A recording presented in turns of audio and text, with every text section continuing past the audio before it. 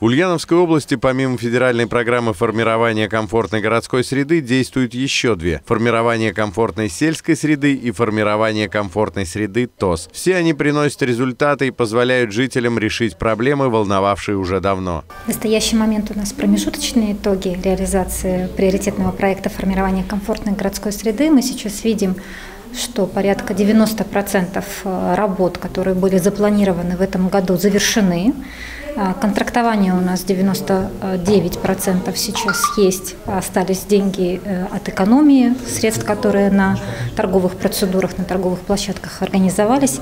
И уже остаточные э, закупки сейчас ведутся. Программа беспрецедентная. Ее цель не только сделать мир вокруг нас красивее и удобнее, основной смысл выстроить диалог, научить народ доверять власти, а власть народу. Голосуя за дизайнерские проекты оккультуривания заброшенных парков, люди учились ответственности за свои решения. Потом, когда началось строительство, именно люди стали контролерами и главными приемщиками работ. Были и те, кто уже умел именно так вести дела, но даже они не верили. ТОСы не верили, что такая программа будет, они не ожидали, потому что действительно а, было ожидание, то, что выделили денежные средства, наверное, не думаю, что в таких объемах, потому что действительно выделены большие деньги, 52 а, миллиона рублей, это 34 миллиона на область и 18 на город Ульяновск. Отдать деньги людям на реализацию их проектов, на решение их пространственных проблем, решиться на это сложно. На самом деле, деньги огромные, бюджетные, ответственность немалая. Смогут ли простые жители справиться с ней? Надо отдать должное власти, решились. И люди оправдали надежды, поэтому программа продолжает работать. Для нас это тоже такой вопрос